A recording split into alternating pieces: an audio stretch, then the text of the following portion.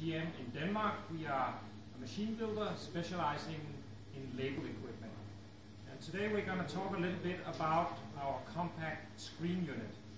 The compact screen unit is a unit to make it easy to add really nice screen effects, high build varnish or special colors in a compact platform with uh, very low cost tooling, conventional flatbed tooling.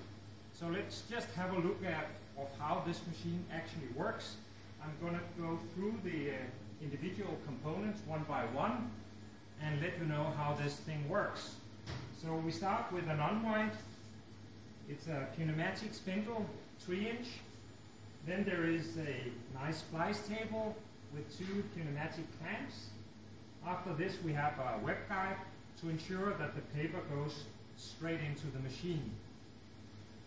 There are some pneumatics here where you control the web tension on dancers and so on, but normally you don't touch these. Then we have the heart of the machine, that is the flatbed screen unit, conventional with a squeegee moving back and forward. The frame is also a conventional screen frame. You can reuse frames from other machines or buy frames from us. They are really easy to have made locally or you may even have equipment in your own facility to make the screens. After the screen unit we have a UV lamp. This is a special lamp for curing high build uh, varnish or high build screen so it has a broader area than a conventional flexo lamp so you get a good long exposure. After this we have the finished product here's a little extra uh, web space so you can uh, inspect uh, the web while the, the machine is, uh, is running. But let's just have a, a little look on the actual samples here before we run the machine. So if you zoom in here, I don't know if we can get a nice angle here, but here we have a really high build. You can see the screen building up here. I'll show you a few samples from actual uh, wine labels a little later in the video. But now let's uh, try and run the machine. Before we run, we can have a little look at the touchscreen. Uh, on the touchscreen, because this is a fully servo-driven machine, we can control the speed and the tension, and we can also control uh, the squeegee speed. So this is the nice thing about digital machines. Everything you control in this machine is done in a digital way, so you don't have to uh, move handles or set brakes or something like this. So let's start up really slow so you can see what's going on. And if we look down here,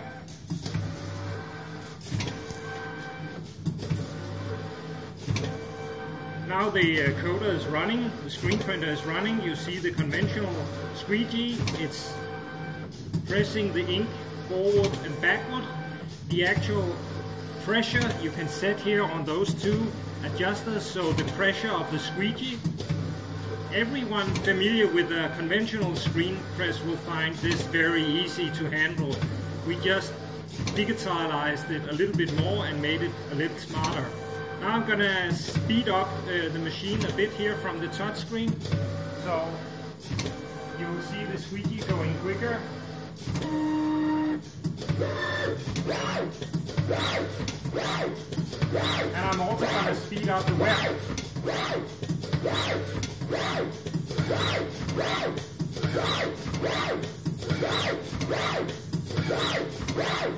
So now we are running on an average speed of 9 meters per minute.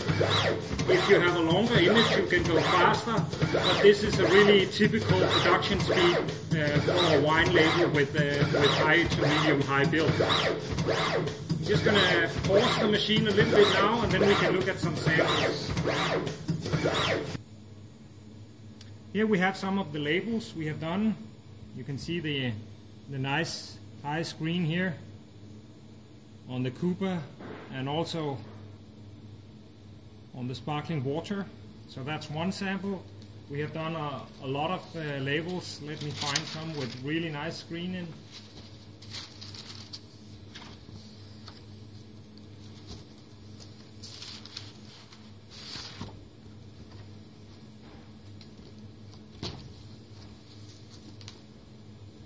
There's one particular one here. These are all wine labels with hot foil, but here's a good one. Here you can see the lady has a very nice effect in the hair, high build.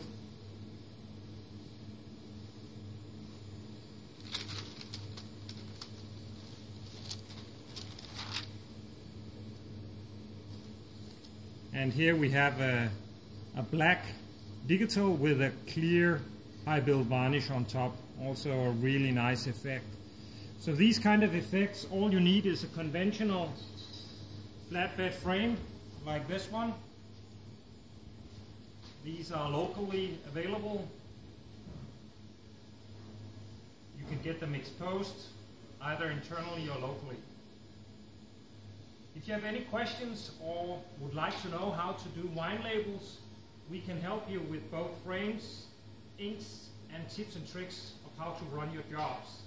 So uh, have a look at our webpage, gm.dk, and see more videos and information on our machines. Thank you.